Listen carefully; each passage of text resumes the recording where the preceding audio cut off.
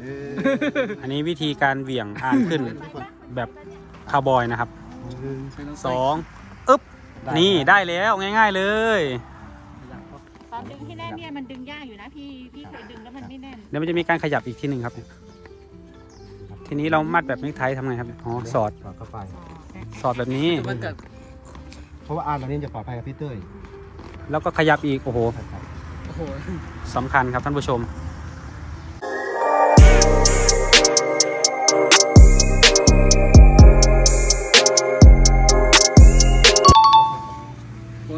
โคบานเมืองร้อยเกินออฟเชียลกำลังบอกวิธีการติดอานนะครับ บนหลังม้าแบบถูกวิธี ให้ถูกต้องด้วยไม่ไฟโยนเหรอเบี่ยงขึ้นนะครับหนึ่งอันนี้วิธีการเหวี่ยงอานขึ้น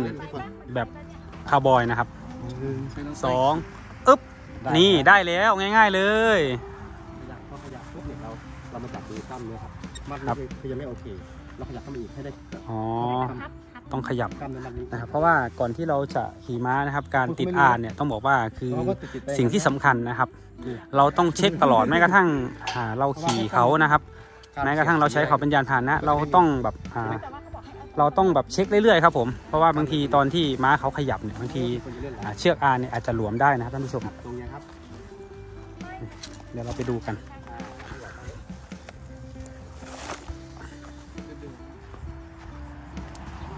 เหงื่อเต็มตัวเลยพี่ฝนวันนี้ วอร์มได้ที่ละเอานี้มาอีกครั้งหนึ่ง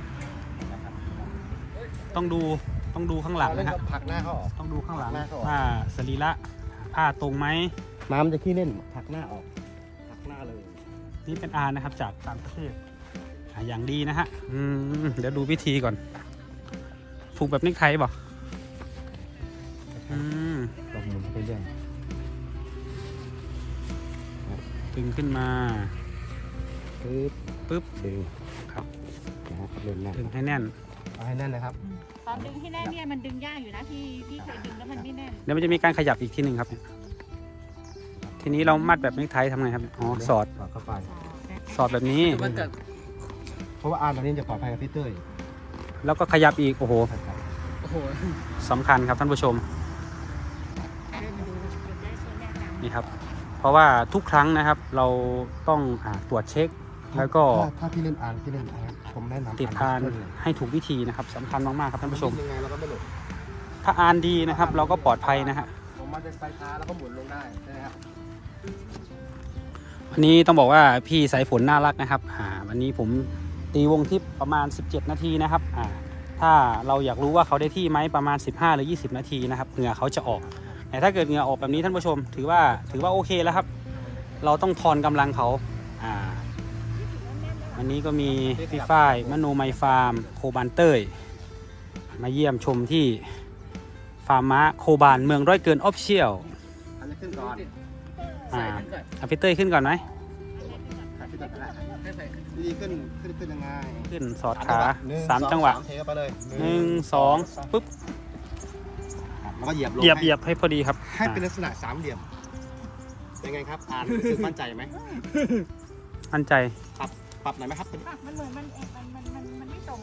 ตัวนี้ใช่ไหมครับไม่ไม่ตรงนี้ด้วยอะมันเหมือนมันยังนไม่คืออะคือเราก็ดูน้ำหนักครับเราเหยียบด้านซ้ายลงเหยียบซ้ายลงอ่าเหยียบดีครับเหยียบดีครับนั่นแหละนี่คือโอ้คาร์บอยสุดยอดนั่นแหละครับรู้สึกนั่งสบายนี่คือถูกต้องครับถูกต้องสรีระได้ถ้าตรงสึกว่าอ่านเนี่ยครับถ้าเกิดมโนว่าไมฟาร์มนะฮะที่ที่เหยียบอ่านอ่ามาเยี่ยมชมที่ ฟาร์มม้านะครับ ของโคบานเมืองร้อยเกินออฟฟิเชียลนะครับ ในวันอาทิตย์คือฐานด้านบนเราเหมือนเราเฟี้ยงหนักเฟี้ยงตรงเป็กนลางมุมสามเหลี่ยสามมเหลี่ยมครับนี่ก็ขี่แบบคาร์บอย ถ้าพี่เหยียดขาบางตรงพี่จะรู้สึกนั่งสบายขึ้น อันนี้เอาขึ้นอีกไหมครับหรือพอดี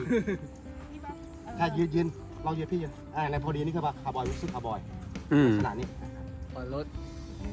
อ๋อโอเคเขาใช้ปลายเท้าเหยียบ ใช้ปลายเท้าได้ไหมครับอ่า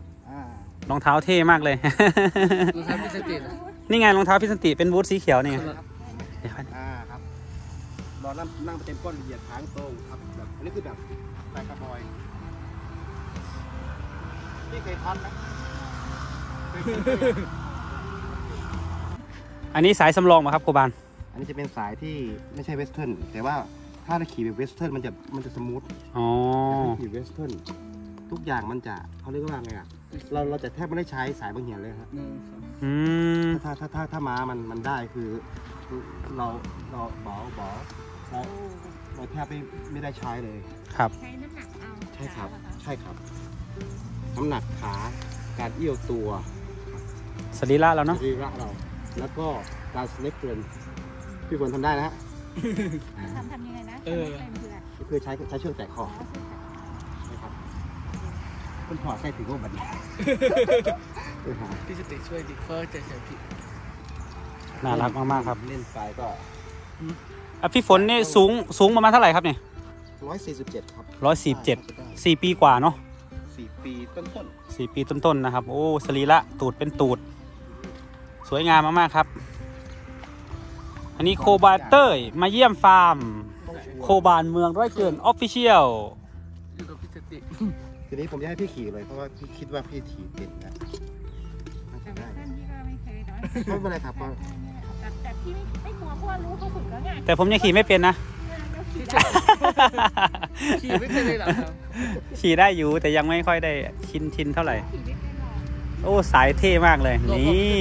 ไปเลยพี่ป้าย โชว์ซิ